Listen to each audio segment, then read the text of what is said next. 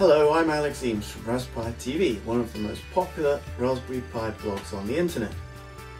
I'm a hardware hacker and a tinkerer and I love making things and blogging about them. I've made a little add-on for the Raspberry Pi called the RasPiO Duino. This gives you most of the capabilities of an Arduino right there on your Raspberry Pi.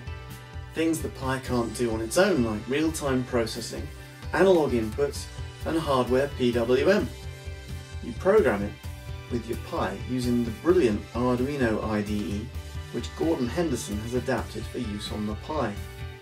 Once programmed, you can use it in two different ways. Standalone, you can just power it separately and it will quietly get on with its job forever. Co-processor mode, add two jumpers to connect the serial pins to get two-way communication with the Pi for reporting output and receiving instructions. Brilliant for robot building. I want to make it really easy and affordable for people to get into Arduino programming. So aside from the hardware kit, there's going to be some really good supporting materials to lead you through using each of the parts of the Arduino microcontroller.